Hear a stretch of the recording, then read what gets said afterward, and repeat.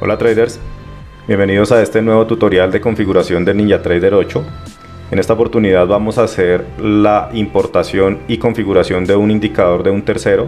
Para esto vamos a ir al centro de control, nos vamos a dirigir a la pestaña de herramientas, luego le vamos a dar clic por aquí en importar y luego donde dice Ninja Script.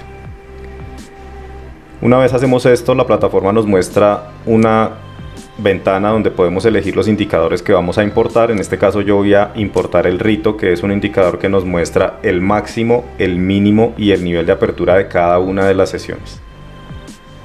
Le vamos a dar clic en abrir y esperamos el cuadro de diálogo con la confirmación de la importación.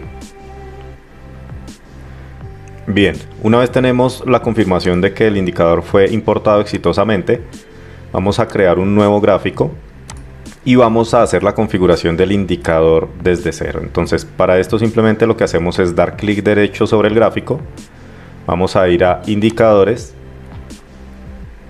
vamos a buscar el indicador en la lista que tenemos al lado izquierdo, en este caso es el primero que aparece en la lista, le damos doble clic o le, damos a agregar en la parte de abajo de la ventana. Y vamos a configurar los parámetros que podemos configurar. En este caso básicamente lo que nosotros hacemos es definir cuál es la apertura para cada una de las sesiones. En el caso de nosotros como estamos en Colombia, eh, tenemos las 8 y 30 de la mañana como apertura americana, las 7 de la noche como apertura asiática y las 2 de la mañana como apertura de la sesión europea. Le vamos a dar clic en OK y ahora lo que encontramos aquí es el, el indicador con cada una de sus partes. Por aquí tenemos el nivel de apertura de la sesión americana. Tenemos además de eso el máximo de la sesión americana que es donde finaliza la parte sombreada. El mínimo de la sesión americana que es donde finaliza la parte sombreada en la parte de abajo. Y además de eso tenemos el rango de la primera hora de sesión o lo que llamamos el balance inicial donde eh, está este cuadrito o este recuadro más claro.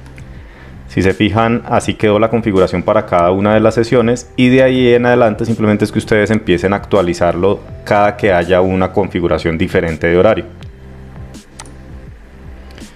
Bien traders, aquí finalizamos entonces este tutorial de configuración de indicadores de terceros. Esperamos que haya sido útil para todos ustedes. En caso de que tengan alguna duda, recuerden que pueden hacérnosla saber por medio de las redes sociales, pueden escribirnos también a nuestro correo electrónico o simplemente dejar los comentarios en el canal de YouTube. Esperamos que acaben de pasar un muy buen día, que esté muy bien, chao chao.